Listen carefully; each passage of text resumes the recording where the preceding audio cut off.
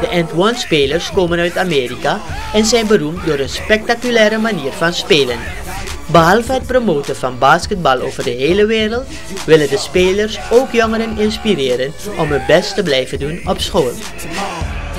I think because of what we do and we're worldwide and we're on TV, a lot of more kids might pay attention to us. So we have to live by example and we try to give a, inspire the youth and give a message of, uh, of encouragement so they can understand they can follow their dreams. Het is geweldig. Dat ze Suriname kennen en wie te vinden is gewoon geweldig. En uh, ze hebben mij een heel erg motiverende speech gegeven, want ik wil volgend jaar weggaan. En het heeft mij erg gemotiveerd, want ik was erg onzeker. Maar het heeft me echt, echt gemotiveerd. Ik vind het geweldig dat ze echt met de jongeren bezig zijn. Ze willen wat van de jongeren zien, want de jeugd, ze hebben het zelf ook gezegd, de jeugd is onze toekomst, is de toekomst van morgen.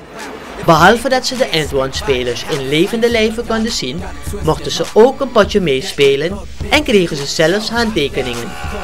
Volgens de showstopper kunnen we zaterdag nog veel meer verwachten. But you can expect like nothing but crazy crossovers, amazing dunks, a very exciting show. It's like the Harlem Globetrotters mixed with the NBA style of game, and it's gonna be like the most amazing thing you've ever seen. Ik vind het ook nice dat ik ze in levende leven kan zien en alles dat ze doen is gewoon echt prachtig. Maar wat ze ons vandaag hebben gewezen, dan verwacht ik een geweldige show zaterdag. We gonna bring it. Make sure if you missing it, it's your fault, cause you never gonna see nothing like this ever again in your life.